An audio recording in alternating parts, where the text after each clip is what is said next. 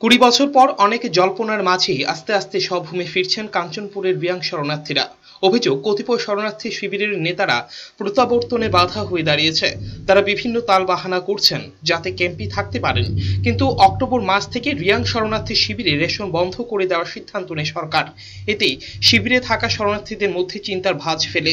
তাই কিছু পরিবার মিজোরাম স্বভূমে ফেরা শুরু করেছে। তৃতীয় ধাপে বুধবার এগারো পরিবারের সাতষট্টি জন বাসে করে সরকারি উদ্যোগে স্বভূমে ফিরে যান। উপস্থিত ছিলেন উত্তর জেলার ডিএম রেবেল এইচ কুমার সহ ত্রিপুরা ও মিজোরামের প্রশাসনিক কর্তারা কড়া নিরাপত্তায় শরণার্থীদের পাঠানো হয় আর सर्वप्रथम मैं बोलना चाहूँगा कि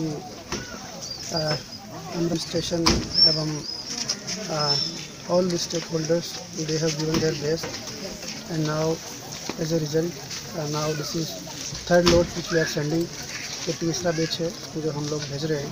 इसके पहले भी uh, हम लोग ऑलरेडी कंचनपुर एरिया से भेज चुके हैं ट्वेंटी फैमिलीज़ को और ये थर्ड लोड है। टोटल ग्यारह फैमिली है। टोटल ग्यारह फैमिली आज रिपटेट हुई यहाँ से। और टोटल सिक्सटी सेवन मेंबर्स हैं जो जा रहे हैं। आ, ये सारी की सारी फैमिलीज़ मामी डिस्ट्रिक्ट से हैं।